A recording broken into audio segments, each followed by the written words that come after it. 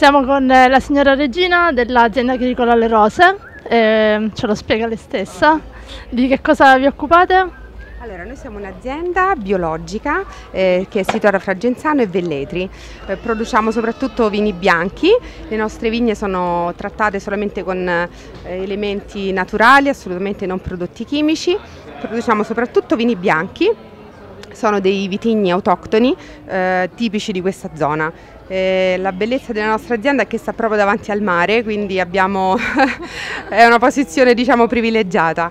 E, um, abbiamo anche dei vini rossi, però mentre prima erano situati ad Olevano Romano e non erano biologici, abbiamo deciso da due anni a questa parte di piantarli invece nella nostra azienda così che tutta la nostra produzione possa essere totalmente biologica. Come mai questa scelta?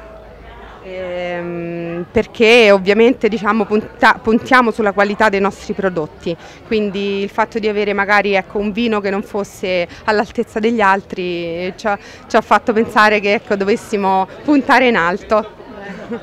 E che tipi di vitigni avete? Allora c'è la malvasia puntinata eh, che era già presente nell'azienda ed è tipica di quella zona, poi invece ehm, l'abbiamo già trovata quindi lì, poi invece il Trembian verde l'abbiamo piantata diciamo nuovamente eh, lì, poi abbiamo anche una, una, vendemmia tardiva che è il nostro ultimo, ehm, che è una, cui la pianta praticamente è una vendemmia tardiva, quindi la, l'uva appassisce direttamente sulla pianta, quindi non viene diciamo diciamo, colta e viene fatta appassire in cantina. È molto particolare, si accompagna benissimo con la biscotteria secca, con i formaggi molto stagionati, quindi insomma è un buon prodotto. Da quanto siete aperti? Allora, la nostra azienda è nata nel 2003 e poi la commercializzazione dei nostri prodotti avviene dal 2007 circa.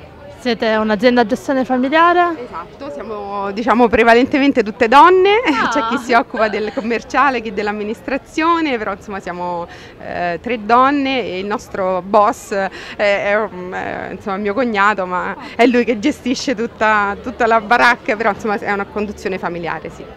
Com'è l'esperienza di un'azienda tutta al femminile? Bellissima, ah. andiamo molto d'accordo, è molto bello, sì. Siamo una famiglia molto unita e anche a livello lavorativo riusciamo a gestirci bene, insomma. Quindi lavorate sullo stesso fronte, diciamo? Sì, sì, sì, sì, sì. collaboriamo bene. Dico, devo dire bene, sono soddisfatta. Bene. E Com ci divertiamo anche eh, molto, questo è soprattutto, soprattutto, è importante quello. Eh, la caratteristica dei vostri vini qual è a parte il fatto che siano biologici, nel senso che il sapore al gusto come si presentano? Sono molto profumati, molto profumati, molto buoni, si accompagnano ognuno con dei piatti particolari, eh, insomma poi sul nostro sito ci sono spiegate tutte le, le informazioni anche come eh, diciamo, accompagnare i vini con, con vari piatti diciamo, specifici. Ad esempio il bianco, allora, bianco per esempio il, diciamo, il, tre armi è quello un pochino più leggero, invece il colle dei marmi che mi sembra un 14 gradi diciamo, va accompagnato, è un pochino più strutturato come vino quindi si accompagna con piatti un pochino più importanti.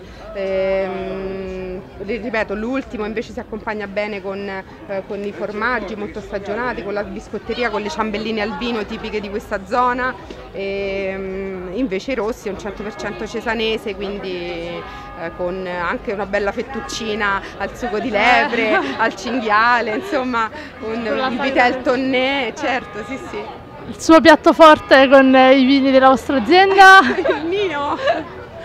Il mio piatto forte, una volta ho provato a cucinare il piccione perché mi ha detto mio cognato che era consigliato con il nostro colle dei marmi e mi è venuto molto bene, un piccione con una particolare salsa che è un piatto insolito però mi è venuto bene. Grazie, grazie allora. a voi, grazie a voi.